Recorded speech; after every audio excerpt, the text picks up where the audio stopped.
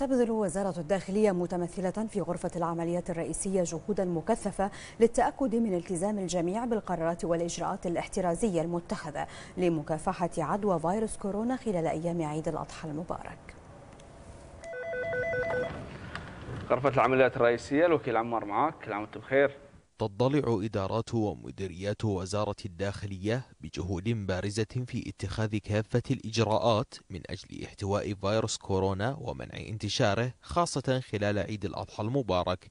وفي هذا الإطار تباشر غرفة العمليات الرئيسية دورها الأمني والاجتماعي وذلك بالتأكد من التزام المواطنين والمقيمين باتباع التدابير الاحترازية والوقائية في الأماكن العامة والأسواق وذلك حفاظا على سلامة الجميع.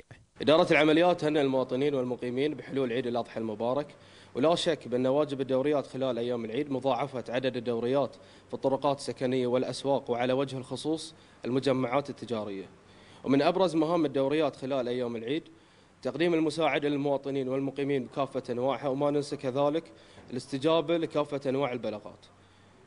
من واجبات وإجراءات دوريات النجل لمكافحة فيروس كورونا ورصد مخالفات عدم لبس كمام الوجه الوقائي والتأكد من اتخاذ كافة إجراءات وقرارات اللجنة التنسيقية من حيث مبدأ التباعد الاجتماعي وعدم التجمع لأكثر من عدد خمسة أشخاص. وتقوم دوريات النجد بمرافقة الباصات التابعة لوزارة الصحة التي تقوم بدورها بالفحوصات العشوائية بمختلف مناطق المملكة وبالتأكيد تقوم دوريات النجدة بتنظيم عملية الفحوصات.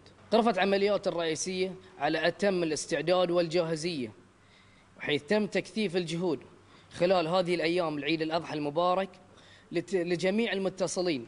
بخط الطوارئ 999 أو الاتصال المرئي لتقديم البلاغات. وحيث تم التنسيق بين غرفة عمليات الرئيسية وجميع الجهات الأمنية لتقديم الخدمات والعون لجميع المواطنين والمقيمين خلال هذه الأيام.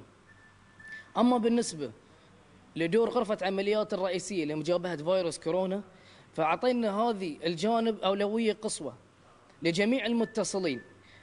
والمتعلقين بحالات الاشتباه أو الإصابة بفيروس كورونا. نوصي جميع المواطنين والمقيمين باتخاذ كافة التدابير الوقائية الصادرة من اللجنة التنسيقية بارتداء الكمام أثناء الخروج.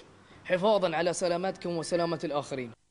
إن تحقيق السلامة العامة تتطلب تعاون وتكاتف الجميع والوعي بضرورة الالتزام بالتعليمات والإرشادات الصادرة من اللجنة التنسيقية التي ستسهم بإذن الله في توفير أجواء عيد آمنة من هذه الجائحة.